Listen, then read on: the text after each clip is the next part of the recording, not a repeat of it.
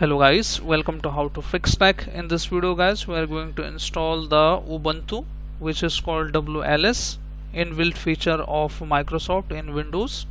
So you can install the ubuntu or the kali linux whichever operating system you want to. In a linux you can install that okay? So in order to enable the operating system of the linux you need to go to the control panel. Open the control panel once you open the control panel go to this option view by and select here the large icons. Once you select here the large icons go to programs and features this option click on that. And once you click on that you need to go to this option turn windows feature on or off. You can directly search on a windows this term. Okay once you click on this option turn windows feature on or off you need to scroll down and look for Windows subsystem for Linux. Just tick this option and click on OK. And it is going to searching for the required file. So now we need to wait here.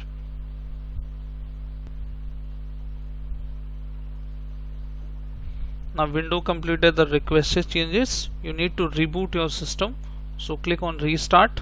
Now okay so my window has been restarted. Just open the CMD and I will show you the command.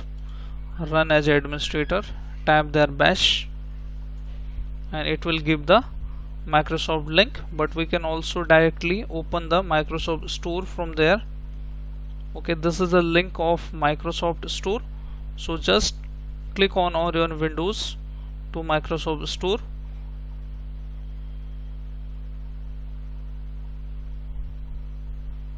this command is only for the browser. You can copy and paste this and hit in the browser. And on the search bar you need to type there Linux and hit enter. Okay and you can see the Linux. You can see all the operating system here. You can choose as per your choice but in this video we are going to install the Ubuntu okay so I need to search here Ubuntu like this and click on this option Ubuntu. And now choose this option first option or you can choose also the 18 stable version or you can choose the the version of 18 and 20014 so here you can choose also the older one or the latest one. But I'm choosing this option latest one. So you need to click on this option. You can also choose this option. Click on get. And it's going to install in a it is 589 MB so it's going to download now. You can also read out about this. Install a complete Ubuntu terminal environment in a minutes with a Windows subsystem for Linux WLS now you will see the open button here. So click on open. And it will directly open from there. You can see. Okay. If let's say this option is not working and this option somehow you close this option you can go to this option and type there Ubuntu. You can see. And click on Ubuntu app open it up. Okay. And now this is throwing the error. You can see required a kernel its kernel component for the visit this website. So just select this and hit enter. This will copy and paste. So let me copy this into the Microsoft browser and open it up. Just paste this website and we need a patch in order to install the Ubuntu. So let me go to this option which is step 4 download for Linux kernel update. Just click on this link WLS2 Linux kernel updates package for 64-bit operating system. Now it's going to download now. Okay it's downloaded now click on open file. Okay and click on run. And this is going to run the patch. Next click on finish. Okay now reopen the Ubuntu operating system terminal. Tap there Ubuntu and click on open. Now the error should be gone. You can see there the error is gone now now you can see still getting the error. Enable the virtualization is should be enabled in the BIOS. So how to check that? We need to again go to the control panel. Just open control. Okay and click on this option programs and features. Turn Windows feature on or off. And we need to look for virtualization this option. Virtualize virtual machine platform. Just enable this option and click on OK. Now again it's asking to restart my system. So let me restart my system first. So I have restarted my system. Let me open the Ubuntu again. Now you can see installing this. This may take a few minutes. Okay so in order to check the virtualization is enabled on your windows or not just right click on the taskbar and open the task manager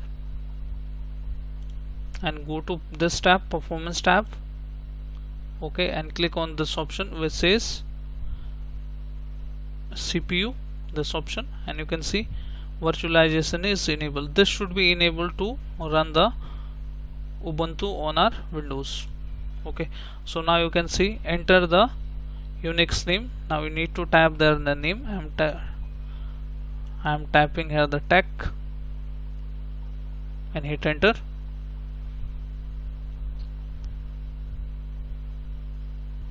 Okay. This should be a like the unique name it should not be the your windows name. You can see there the message also. And type the password there. Retype the password. And hit enter. Okay updated successfully. Now you can see. You can see the latest version of LTS Ubuntu Linux operating system 64 bit. So let me clear this okay in the command first I'm going to give the directory ls space hyphen all to check the directory inside our bash. You can see there profile bash. So now the question is how to access the Windows drive. Like if I want to access the C drive from the this terminal so how to do that? I need to type the command cd space slash mount ntm space slash c and then hit enter. Now once you hit enter you can see we are in a C drive C dollar sign.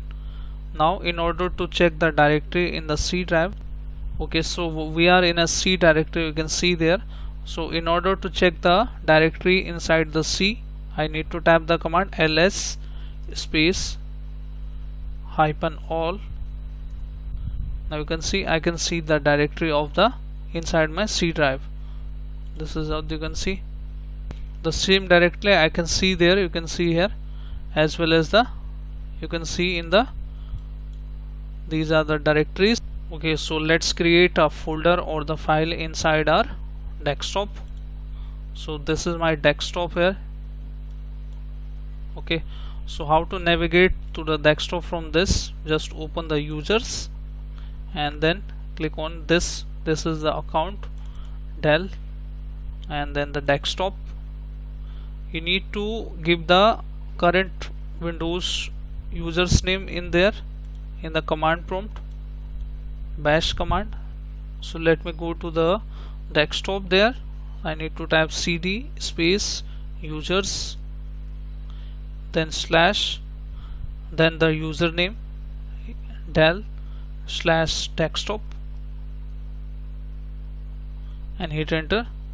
Once I hit enter you can see I'm in a Dell and in the desktop. So how to create the any file txt file there? So I need to give the command touch space tech.txt